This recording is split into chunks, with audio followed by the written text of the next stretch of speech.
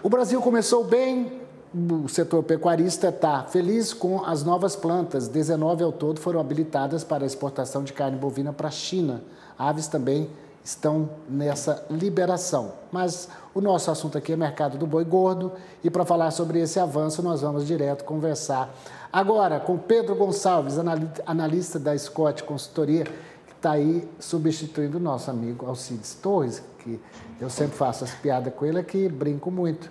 Vamos começar falando sobre essa história da manchete que eu dei aí dos preços é, dos itens da Páscoa subindo.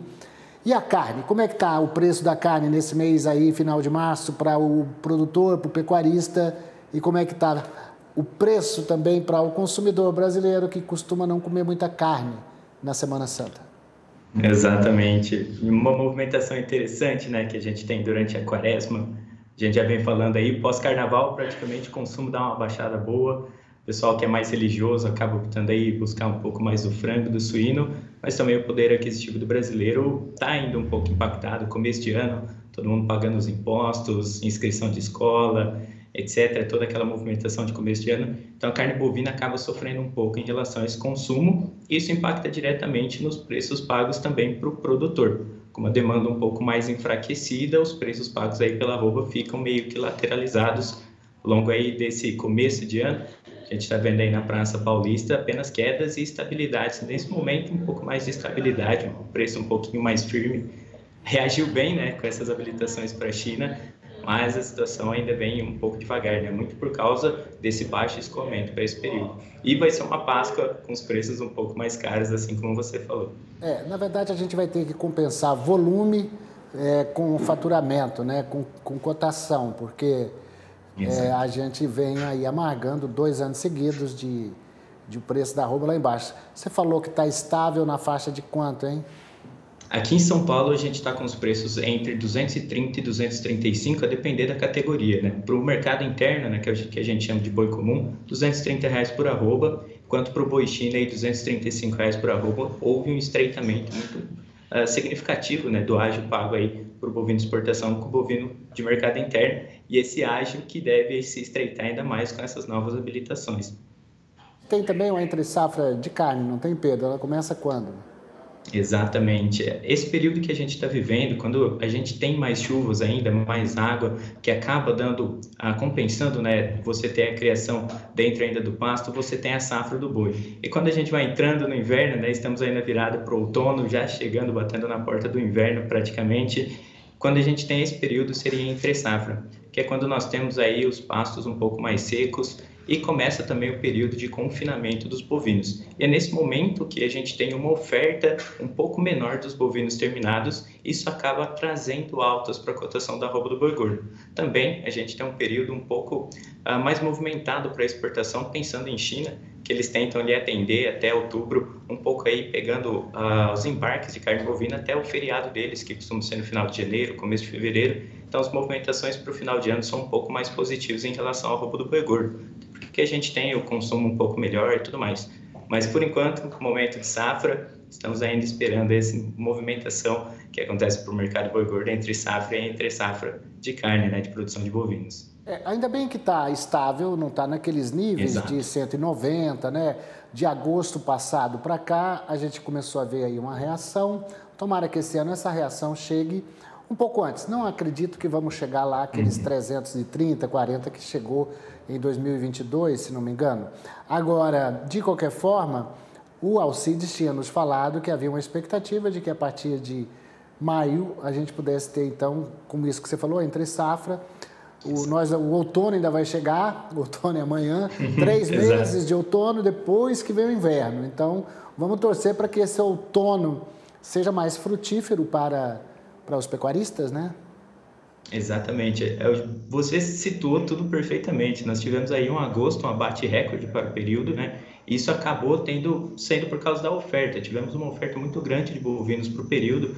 Aí a questão das chuvas, né, a mobilidade ali, da questão da precipitação entre as regiões, acabou permitindo com que essa oferta viesse muito grande e, e acabou, né, derretendo os preços da cotação da roupa do burgor em algumas regiões até abaixo de 200 reais, como você bem pontuou.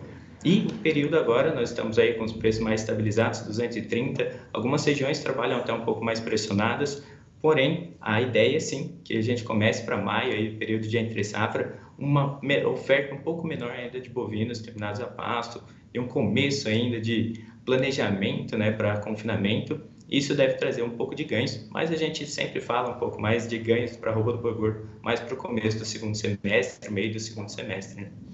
Você para que haja uma valorização das cotações no mercado internacional, né? A gente abastece o mercado interno, vive aqui os problemas, mas a gente tenta compensar com volumes e vendas, né? A China habilitando novas plantas e isso é bom, mas o bom seria se a gente conseguisse chegar a um preço melhor pela arroba de boi gordo em dólar. Exatamente. Quando a gente fala né, de exportação, a gente costuma trazer um pouco mais dos preços por tonelada de carne bovina vendida.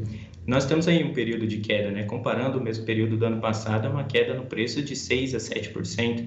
Hoje mais negociados a 4.500 dólares a tonelada de carne bovina.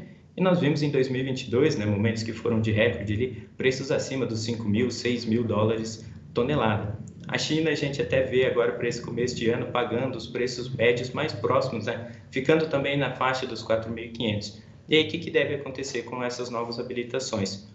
Todos os frigoríficos, né, de alguma certa forma assim, grande parte deles agora tem uma habilitação para a China. Isso deve dar uma modificação para o mercado. No primeiro momento, nós tivemos aí a alta né, da roupa do boi gordo, pensando no mercado futuro, porém já nos dias seguintes essa alta começou a vir um pouco mais para a estabilidade, uma tendência de manutenção. Muito porque nesse primeiro momento, essa concorrência pela comercialização, né, compra do bovino destinado à exportação, deve vir um pouco mais alto. Então, os frigoríficos devem trazer preços um pouco mais altos, porém, quando eles entenderem o mercado, ficar uma situação mais estável, esse ágio né, que a gente tem do boi comum para o boi china deve dar uma reduzida. E esses preços né, pagos aí pelo tonelada de carne né, exportada também impactam bastante. Quando a gente tem essa redução né, do preço pago pelo tonelada de carne, a indústria frigorífica acaba acompanhando e acaba até descendo um pouco também o preço da roupa do boi gordo, isso aqui no Brasil. A tendência também, né, em relação ao que a gente está vivendo do ciclo pecuário. Nós estamos ainda com uma oferta muito grande de bovinos, uma oferta de fêmeas ainda vem muito alta. No Mato Grosso, né, que hoje é o nosso principal rebanho, a oferta de fêmeas vem na casa dos 56%, que ela é bem maior no né, começo do ano e depois tende a dar uma estabilizada, uma reduzida nos períodos ah, mais ao longo do ano, né?